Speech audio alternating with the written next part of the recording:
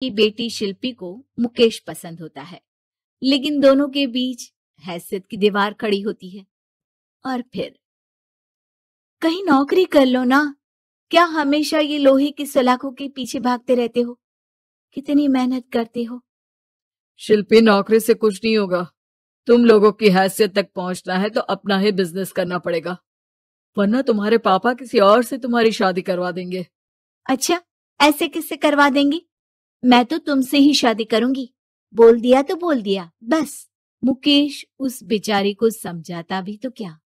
दुनिया के रीति रिवाजों से काफ़ी दूर थी शिल्पी। भले ही बड़े बाप की बेटी, लेकिन सादगी इतनी की क्या कहना। बेटा शिल्पी, कल तुमको देखने लड़के वाले आने वाले हैं। तैयार रहना।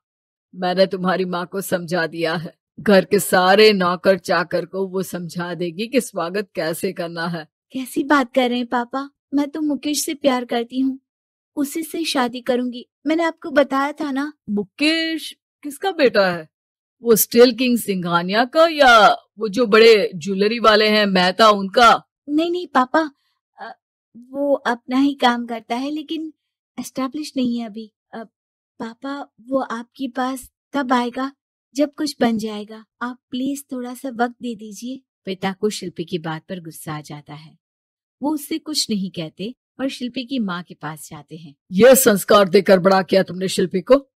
और कैसे मैं किसी भिखारी के साथ उसकी शादी कर दू? कौन है ये मुकेश? मैं जानती हूँ। बड़ा ही होनहार लड़का है। शिल्पी से बहुत प्यार करता है और शादी करना चाहता है।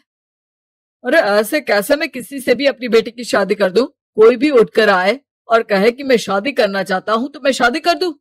कान खोल कर सुन लो। कल उसे अच्छे से तैयार कर देना क्योंकि जो लड़का मैंने देखा है शिल्पी के लिए वो करोड़पति घर का बेटा है समझी? लाख मना करने पर भी शिल्पी को उस लड़के से मिलवाया जाता है जो उसके पिता ने उसके लिए देखा था। देखिए मैं किसी और से प्यार करती हूँ और उसी से शादी करूँगी। ये तो बहुत अच्छी बात है कि तुम किसी और से प्यार करती हो क्योंकि मैं भी किसी और से प्यार करता हूँ। लेकिन शादी तो हम दोनों को ही करनी होगी। जानती हो ना ये बिज़नेस और ये सारा कुछ। शिल्पी को समझ में नहीं आता कि वो क्या कह रहा है लेकिन वो समझ जाती है कि वो लड़का भी किसी और से प्यार करता है। पिताजी वो भी कह रहा था कि वो किसी और से प्यार करता है। हाँ तो करने दो ना हमने तो नहीं रोका। तुम अपना देखो शादी के लिए हाँ कर कर गया है वो। लेकिन क्यों? अरे वो और मैं दोनों ही एक दूसरे से प्यार नहीं करते फिर शादी क्यों कर ले? पापा एक बार सिर्फ़ मेरे कहने पर आप मुकेश से मिल ले। पिता शिल्पी के कहने पर।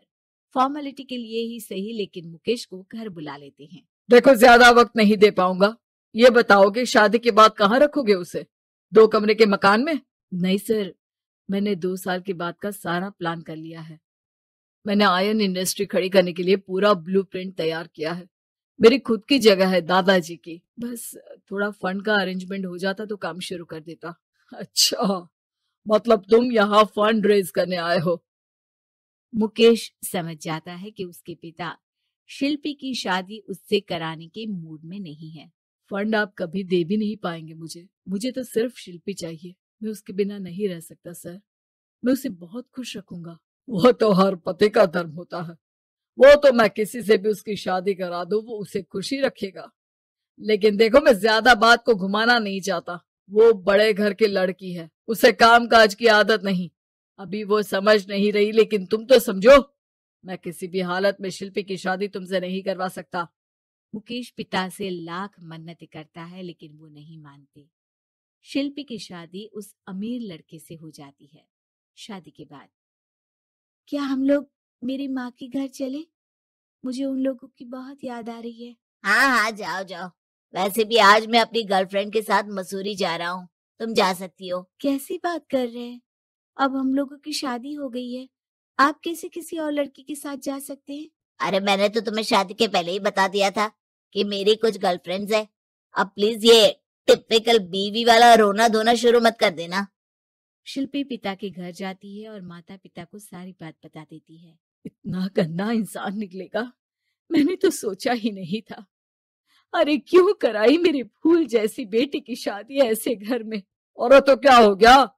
शुरू शुरू में हर घर में ऐसा होता है। धीरे धीरे ठीक हो जाएगा। और वैसे भी उन लोगों के साथ हम लोगों की एक बड़ी डील फाइनल हुई है, समझी? उन लोगों से रिश्ता बनाकर रखो, तभी पैसों की बारिश होगी। पापा अब समझ में आया कि आपने मेरे साथ ऐसा क्यों किया। मुकेश आपके सामने गिड़गिड़ा कर गया कि वो मुझे बहुत खुश रखेगा, लेकिन आपने मेरी शादी एक ऐसे लड़के से करा दी, जो किसी और लड़की से प्यार करता है और शादी सिर्फ़ समझौते के लिए कर रहा है। पापा, मैं जा रही हूँ, लेकिन इस घर में कभी पैर भी नहीं रखूँगी। आपने मुझे सामान की तरह इस्तेमाल किया। माँ शिल्पी को बहुत रोकती है, लेकिन वो एक नहीं सुनती। कुछ समय बाद। शिल्पी मुझे नहीं लग रहा कि अब हम दोनों के बीच ये शादी और रह पाएगी। मैं किसी और से शादी करना चाहता हूँ। वैसे तुम परेशान मत हो ना तुम्हारे पापा के साथ हम लोगों की डील जो चल रही है ना वो नहीं रुकेगी। क्योंकि तुम बहुत अच्छी लड़की हो। ठीक है मैं जा रही हूँ। तलाक के पेपर में साइन करके। लेकिन एक शर्त है मैं कहा गई ये बात मेरे पिता तक नहीं पहुँचनी चाहिए। शिल्पी घर छोड़कर चली जाती है। वो एक नौकरी करती है और अपना जीवन खुद संभालती है। लेकिन एक दिन, शिल्पी जी, आपसे मालिक मिलना चाहते हैं। मुझसे क्यों? शिल्पी मालिक के कमरे में जाती है, जहाँ सामने मुकेश होता है। अरे आप, आपको देखकर बहुत खुशी हुई। बहुत बड़े आदमी बन गए। थैंक्स, पर तुम्हें नौकरी करने की क्या ज़रूरत पड़ गई? मैंने तो सोचा भी नहीं था कि तुम मेरी शिल्पी होगी। तभी वहाँ शिल्पी के पिता आ जाते हैं। शिल्पी तुम्हारे बारे में माँ से पता चला। घर चलो बेटा मुझे माफ़ कर दो। मुकेश मैं यहाँ अपनी कंपनी के काम के लिए आया हूँ। तुम्हारी कंपनी की डील अगर हमें नहीं मिली तो हम बर्बाद हो जाएँगे। वैसे अब तुम चाहो तो शिल्पी की शादी मैं तुमसे कराने को तैयार हूँ। बस करिए पापा। ये क्या सौदा लगा रखा है आपने?